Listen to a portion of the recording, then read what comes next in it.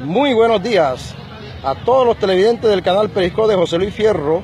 Desde el Templo Sagrado de Fútbol Menor de Cartagena de India, contamos con la presencia de Santiago Julio, que hizo parte de la gran final entre Juvenil Amberes y el Club Expreso Rojo, ganada por Expreso Rojo, dos goles por uno. Cuéntanos, Julio, ¿qué tal te pareció eh, la gran final de la categoría 2002? Eh, fue una gran final, ya que aunque fue perdida, pero le dimos todo y eso hace que estén felices nuestros padres y además orgullosos. Perfecto, y cuéntanos cómo es el resumen de tu actuación personal. De mi actuación personal fue en el primer tiempo estuve un poquito acelerado y en el segundo tiempo traté de mejorarlo y la mejoré, aunque perdimos el partido. Perfecto, ¿y por qué crees tú que Expreso Rojo nos ganó el partido? Por un desbalance en el carril central donde estaba yo eh, y fue por un autogol también.